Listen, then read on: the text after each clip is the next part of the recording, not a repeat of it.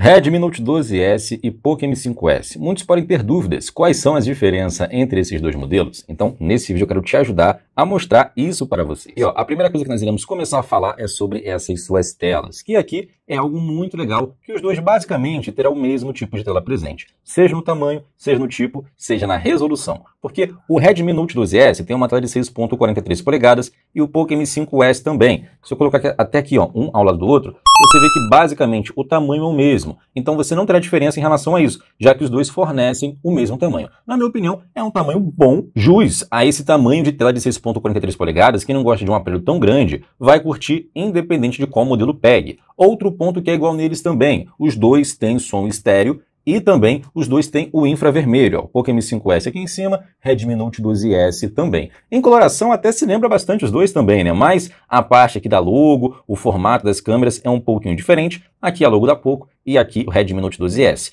E falando em câmera também, ele tem uma lente de câmera de 108 megapixels, enquanto o Poco M5S é uma lente de 64. Embora tenha mais megapixel aqui no Redmi Note 12S, o Poco M5S consegue gravar em 4K, coisa que não é possível aqui no Redmi Note 12S. Ó, mostrar aqui para você, Redmi Note 12S 1080 e aqui no Poco M5S posso gravar em 4K. Isso só na parte traseira. Na parte da frontal, os dois só gravam em até Full HD mesmo. Ó, 64 megapixels, 108 megapixels. Temos a presença também nos dois modelos, como você pode ver, ó, tem outras lentes de câmeras aqui presentes também, que é a câmera grande angular, que você consegue tirar foto de mais distante, e também a câmera macro. Quando vem aqui nesses três pontinhos, posso ativar a macro aqui no Redmi Note 12S, não sendo diferente aqui no Poco M5S. Vou tirar uma foto aqui só para você ter uma noção, pelo menos na câmera de 50, na verdade 64 e 108 megapixels, que é o dobro de que tem no outro modelo, só para ter uma noção como é que fica a imagem nos dois. Vamos tirar fotos bem bacaninha, tem só essa diferença maior, que o Redmi Note 12S não vai gravar em 4K. Está aí a imagem para você. O que, é que você acha? Na minha opinião,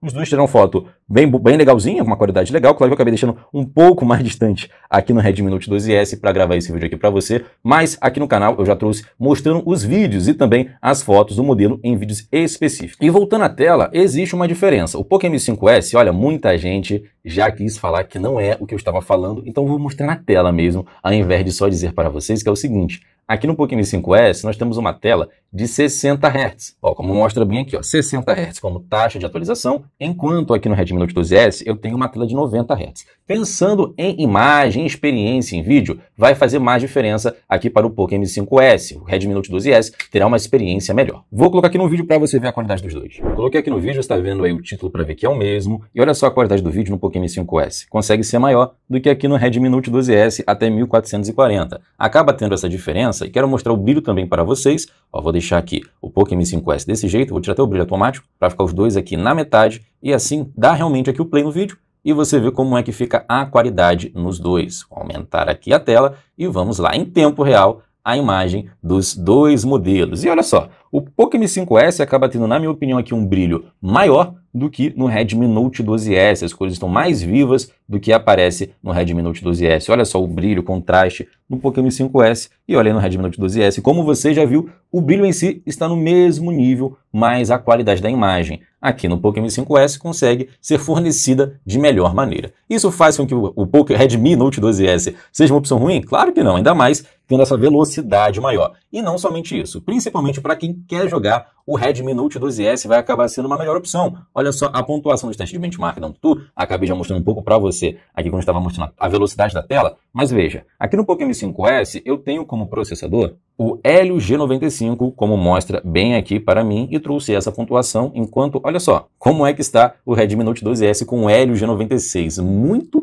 mais potente, aqui acaba não, ah, atrás sim, olha só, tá bem aqui, ó, MediaTek Helio G96, muito mais poderoso do que o Poco M5S. Essas são as únicas diferenças, Eliseu? Não, tem uma vantagem aqui para o Poco M5S que ele tem NFC, coisa que não é comum encontrar no mercado o Redmi Note 12S com NFC. É mais comum encontrar sem NFC, deixa até os links dos dois modelos na descrição, caso tenha interesse aí em adquirir o seu. Os dois não têm o 5G, são 4G e o Redmi Note 12S, normalmente os modelos que você encontra já vendendo aqui no Brasil sem pagar nenhuma taxa, ó, é de 256 GB de armazenamento. Já o Poco M5S tem versões com 128 e tem versões com 256. Eu vou deixar separadinho na descrição para você, para você não adquirir errado.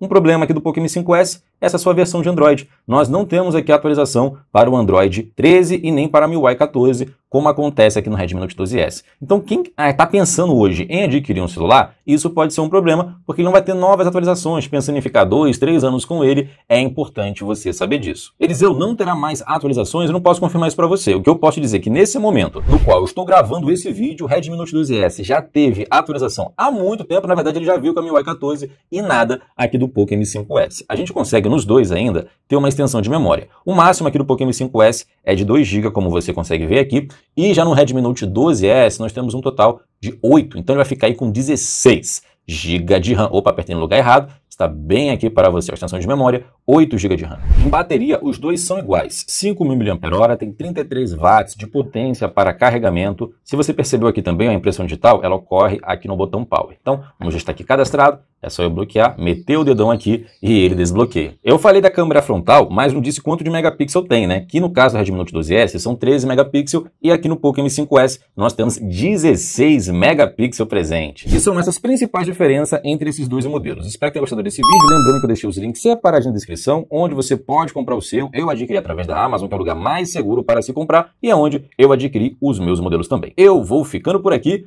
Um forte abraço, fique com Deus. Tchau, tchau.